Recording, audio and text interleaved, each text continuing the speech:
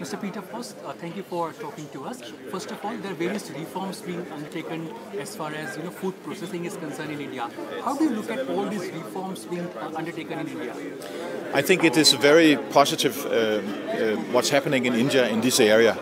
My company is called FOSS, and we make food quality analyzers. So our small role is to assist in making sure farmers get a, a, a transparent and fair payment and that we can assist in making sustainable food production in India for 1.4 billion people. And the reforms that are taking place is certainly supporting uh, and, and, making it likely that you will succeed in this transition. And we are happy in Denmark. Uh, we're fortunate enough to have some technology companies that can assist you in this process. Uh, we had a, a very uh, positive uh, uh, conference here and I think one of the things that all Danes took away from this session was his expression about fear of missing out.